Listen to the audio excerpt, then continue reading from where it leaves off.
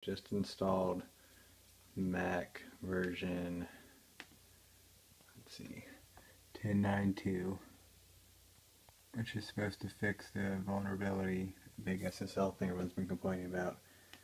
But here we see that this window is not really responding to my mouse very quickly at all. And when I switch desktops, which used to be really smooth,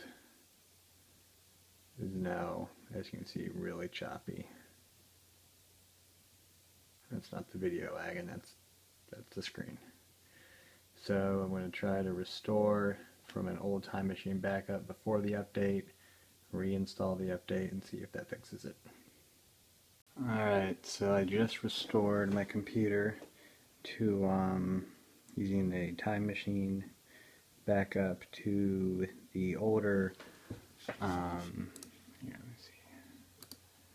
the older 10.9.1 version. So it's successfully restored it. As we can see, um, windows are now responsive as they should be. Scrolling from window to window is is smooth, just as it's always been.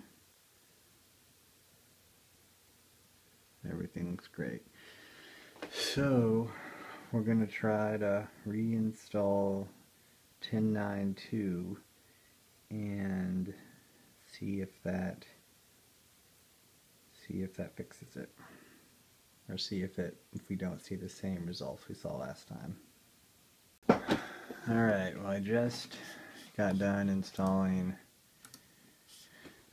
10.9.2 and it looks like that did not fix the issue. It is still quite delayed when moving from screen to screen. It may not look quite as bad, but I'm, I'm swiping my fingers on the mouse and then it's taking way too much time to move. The windows are a little more responsive, but obviously this problem is still not fixed. So I guess I'll either restore it back to 10.9.1 and wait for Apple to fix it or keep this version and see if it fixes itself after a while. I'm not quite sure. But I'll update this once I know what the fix is.